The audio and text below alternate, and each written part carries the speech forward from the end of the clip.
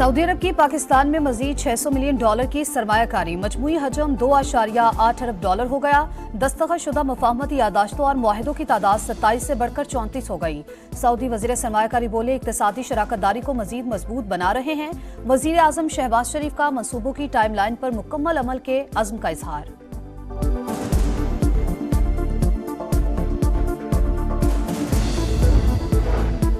आलूदगी के खात्मे के लिए भारत से स्मोक डिप्लोमेसी मरियम नवाज़ का इंडियन पंजाब के वज़ीर अला को खत लिखने का ऐलान। कहा, स्मोक सियासी नहीं, इंसानी मसला है। भारत से बातचीत करना होगी। वज़ीर अला पंजाब की दिवाली की तकरीब में शिरकत। दिया चलाया अकलीती बरादरियों के लिए खसूसी कार्ड के इजरा का ऐलान किया। बीस दिसंबर की डेडलाइन दे दी। माइनॉरिटी वर्चुअल पुलिस स्टेशन भी कायम करने का वादा।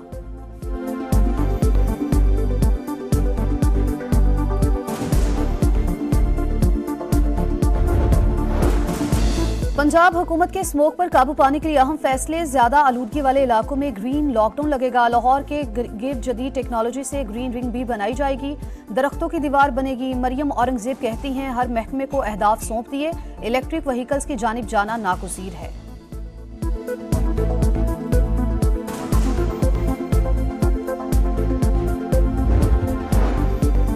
लंदन में सबक चीफ जस्टिस काजी फाइज ईसा और पाकिस्तानी हाई कमीशन की गाड़ी पर हमला। वज़ीर दाखिला मोहसिन नकवी का नोटिस। नादरा को हमला आवरों की शनाख्त के लिए फौरी इकदाम का हुक्म। पाकिस्तान में एफ़ आई आर दर्ज की जाएगी। शनाख्ती कार्ड और पासपोर्ट मनसूख किए जाएँगे। मोहसिन नकवी का कहना है कि ऐसे वाक़े पर खामोश नहीं बैठ सकते।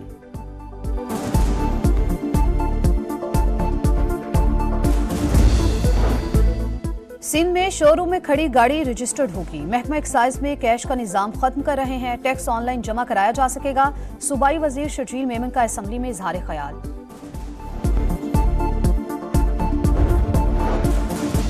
बिजली की तकसीम कार कंपनियों की ओवर बिलिंग का मामला शिद्दत इख्तियार कर गया। गुजशत दो साल में छियालीस अरब रुपए से जायद ओवर बिलिंग हुई ऑडिटर जनरल ऑफ़ पाकिस्तान की रिपोर्ट में इंकशाफ सीपीपीए और डिस्कोस के बिलिंग निज़ाम पर सवाल उठा दिए।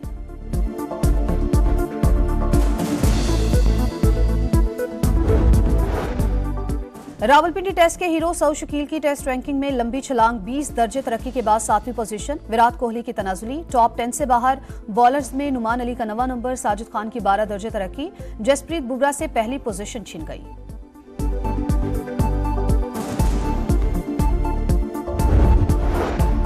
और स्पेन में तूफानी बारिशों ने तबाही मचा दी, इक्यावन अफराद हलाक। दर्जनों जख्मी जनूबी इलाके डूब गए। मुतासरा इलाकों में इमरजेंसी नाफिज। इमदादी कार्रवाइयाँ जारी। वज़ीर अजम की रियाद में सऊदी वली अहद मोहम्मद बिन सलमान से मुलाकात। तजारत, सरमाकारी इकतदी और स्ट्रेटेजिक ताउन मजीद बढ़ाने पर इतफाक दिफा तोानाई और दीगर शोबों में सरमाकारी पर भी तबादला ख्याल। दोनों रहनुमाओं का मज़बूत इकतदी शराकत दारी के अज़म का अदा शहबाज शरीफ आलमी मालियाती इदारों में पाकिस्तान की हिमायत पर मोहम्मद बिन सलमान के शुक्रगुजार। सरमाकारी कॉन्फ्रेंस से खिताब में वज़ीर अजम ने कहा गजा में खून रेजी रोके बगैर दुनिया तरक्की नहीं कर सकती। चेयरमैन बाबडा का हरिपुर में तरबेला तोसी मंसूबे का दौरा। टनल और पावर हाउस पर तामीराती पेशरफ का जायजा लिया। प्रोजेक्ट की छह मरकजी साइट्स पर काम तेज़ी से जारी। ब्रीफिंग में बताया गया कि मंसूबे की तकमील 2025-26 में मुतव है। आईसीसी चैंपियंस ट्रॉफी से पहले नेशनल स्टेडियम कराची की अपग्रेडेशन का काम तेज। चेयरमैन पीसीबी मोहसिन नकवी का दौरा। तमीराती कामों का मुआयना किया। पार्किंग एरिया स्टेडियम के करीब बनाने की हिदायत।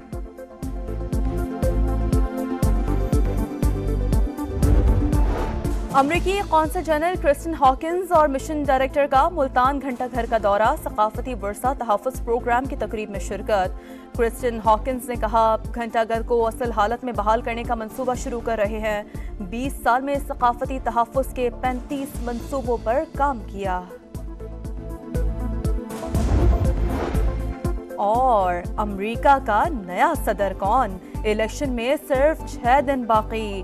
डोनाल्ड ट्रंप की पेंसिल्वेनिया में रैली, कामला हैरिस को बदतरीन नायब सदर करार दे दिया। डेमोक्रेट उम्मीदवार का वॉशिंगटन में जवाबी वार, कामला हैरिस ने कहा, ट्रंप जीत गए तो मुखालफिन को जेलों में डाल देंगे।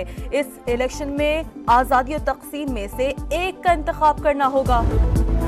वज़ीर अजम की रियाद में सऊदी वली अहद मोहम्मद बिन सलमान से मुलाकात। तजारत, सरमाकारी, इकतसादी और स्ट्रेटेजिक ताउन मजीद बढ़ाने पर इतफाक दिफा तोानाई और दीगर शोबों में सरमाकारी पर भी तबादला ख्याल।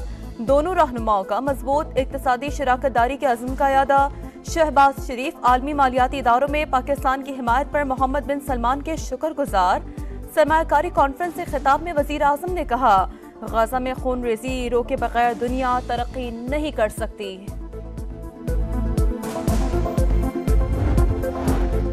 चेयरमैन बाबडा का हरिपुर में तरबेला तोसी मंसूबे का दौरा। टनल और पावर हाउस पर तामीराती पेशरफ का जायजा लिया। प्रोजेक्ट की छह मरकजी साइट्स पर काम तेज़ी से जारी।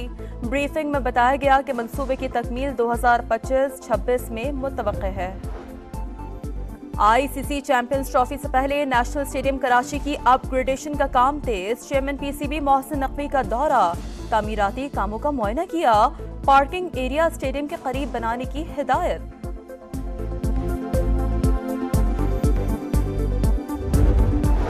अमरीकी कौंसल जनरल क्रिस्टन हॉकिंस और मिशन डायरेक्टर का मुल्तान घंटा घर का दौरा, सकाफती वर्षा तहफ़ प्रोग्राम की तकरीब में शिरकत। क्रिस्टन हॉकिंस ने कहा, घंटा घर को असल हालत में बहाल करने का मंसूबा शुरू कर रहे हैं। 20 साल में सकाफती तहफ़ के 35 मंसूबों पर काम किया। और अमेरिका का नया सदर कौन? इलेक्शन में सिर्फ़ छह दिन बाकी। डोनाल्ड ट्रंप की पेंसिल्वेनिया में रैली, कामला हैरिस को बदतरीन नायब सदर करार दे दिया। डेमोक्रेट उम्मीदवार का वाशिंगटन में जवाबी वार। कामला हैरिस ने कहा, ट्रंप जीत गए तो मुखालफिन को जेलों में डाल देंगे। इस इलेक्शन में आज़ादी और तकसीम में से एक का इंतखब करना होगा। वज़ीर अजम की रियाद में सऊदी वली अहद मोहम्मद बिन सलमान से मुलाकात। तजारत, सरमाकारी, इकतसादी और स्ट्रेटेजिक ताउन मजीद बढ़ाने पर इतफाक दिफा तोानाई और दीगर शोबों में सरमाकारी पर भी तबादला ख्याल। दोनों रहनुमाओं का मज़बूत इकतसादी शराकत दारी के अज़म का अदा शहबाज शरीफ आलमी मालियाती इदारों में पाकिस्तान की हिमायत पर मोहम्मद बिन सलमान के शुक्र गुजार सरमाकारी कॉन्फ्रेंस से खिताब में वज़ीर अजम ने कहा गजा में खून रेजी रोके बगैर दुनिया तरक्की नहीं कर सकती।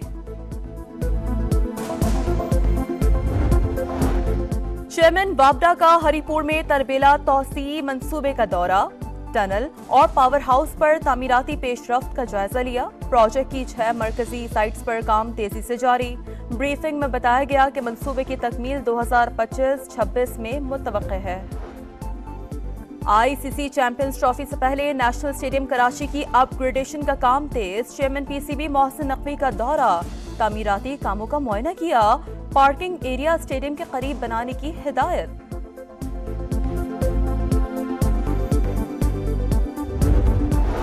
अमरीकी कौंसल जनरल क्रिस्टन हॉकिंस और मिशन डायरेक्टर का मुल्तान घंटा घर का दौरा, सकाफती वर्षा तहफ़ प्रोग्राम की तकरीब में शिरकत।